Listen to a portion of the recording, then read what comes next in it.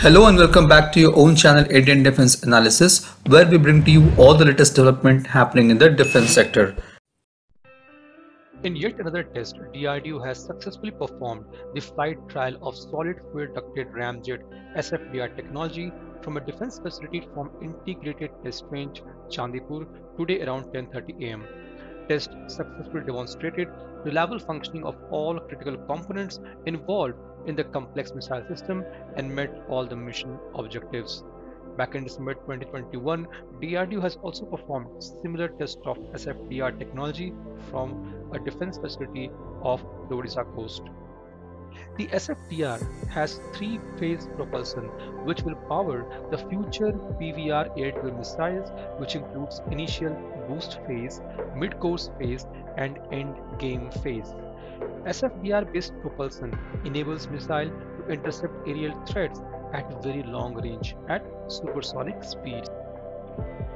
It will be used in developing very long range air-to-air missile with range more than 150 kilometers to 300 kilometers. You all would have heard of MBDA's Meteor missile. It is the world's best air-to-air missile at present in beyond visual range in terms of launch success and no escape zone, they are 200% better than US AMRAAM missile. Yes, the same AMRAAM missile which was fired by Pakistani F-16 on MiG-21 in an air skirmish post Balakot strike. The Meteor missile is also being used by the America's fifth generation fighter F-35. The technology that makes the Meteor missile so capable is the SFDR, it allows missile to cruise at a speed over Mach 4 and provides missile with thrust and mid-course acceleration. The ramjet motor provides missile with thrust all the way to the target intercept, providing the largest no escape zone compared to any other air-to-air missile. The SFDR is an advanced technology than ramjet and it's a game changer for BVR missile. It uses air-breathing ramjet engine which can vary thrust according to the requirement, increasing the hit probability.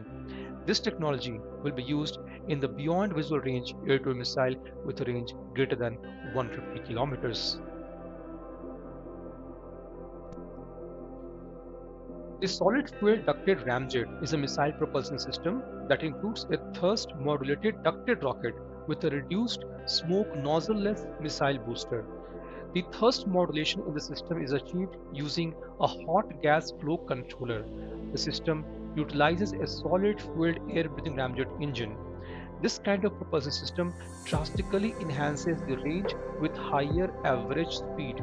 The missile which uses such system are also able to carry larger payload due to the absence of an oxidizer. Unlike solid propellant rocket, the ramjet takes up oxygen from the atmosphere during the flight. Talking about DRDO's SFDR technology, in its current form, it first required to be boosted to a high altitude trajectory to simulate aircraft launch conditions. Subsequently, the nozzle-less booster fires up and guides the missile through its desired trajectory. Now we all know about the indigenous Astra air-to-air missile.